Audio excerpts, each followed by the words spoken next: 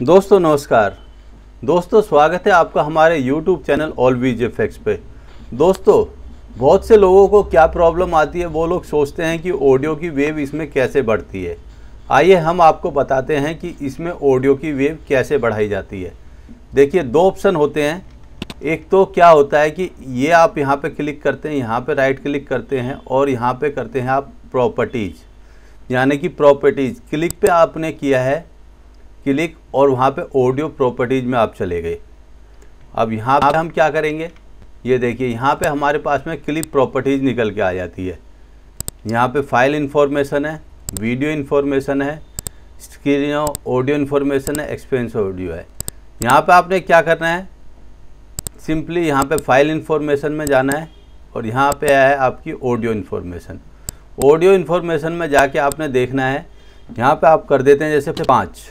और यहाँ पे आपने कर दिया है सिंपली अप्लाई ये देखिए। अब आप क्या देखते हैं, ये ऑडियो हमारी बढ़ गई है।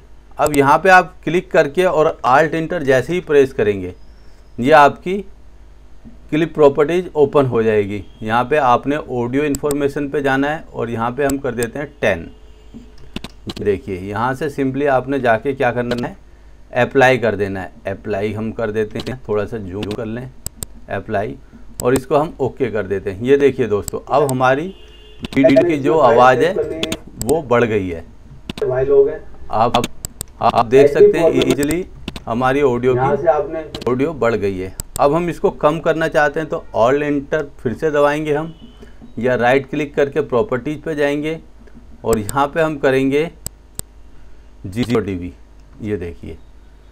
एंटर प्रेस कर दिया, ये यहाँ पे ज़ीरो हो गई। यानी कि ऑडियो बढ़ाने के लिए सिंपल सा एक तरीका है कि आपने यहाँ पे 10 डी या 5 डी दे देना है।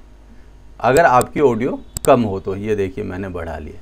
तो दोस्तों नेक्स्ट एपिसोड में मैं आपको बताऊँगा कि इंटरफेस इसका क्या होता है और इसकी विंडोज़ कितनी फ्लेक्सिबल होती हैं। आप देखते रहिए हमारे यूट्यूब चैनल को और सीखते रहिए दोस्तों। आगे हम बताएँगे और भी नई की चीज़ों के बारे में।